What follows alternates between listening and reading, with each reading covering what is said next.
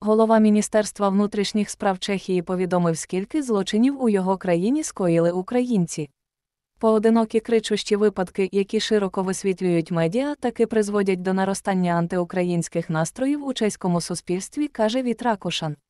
Українці відповідальні за 4% злочинів, скоєних у Чехії цього року. Ця цифра не є загрозливою, а тому недоцільно говорити про погіршення ситуації із криміналом через наплив біженців. Про це в ексклюзивному інтерв'ю Радіо Свобода сказав міністр внутрішніх справ Чехії Вітракушан.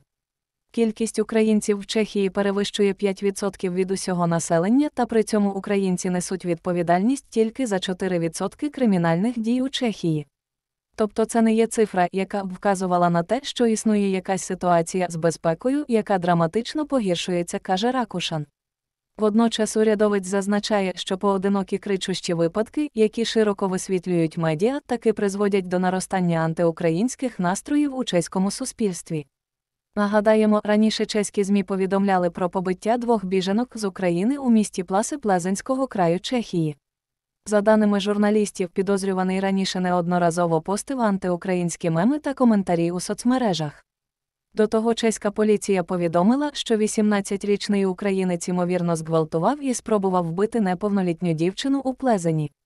Правоохоронці зазначали, що підозрюваний українець не є біженцем, а і раніше проживав у Чехії. Від початку війни з України до Чехії в'їхало понад 500 тисяч біженців, з них третина вже повернулася до України.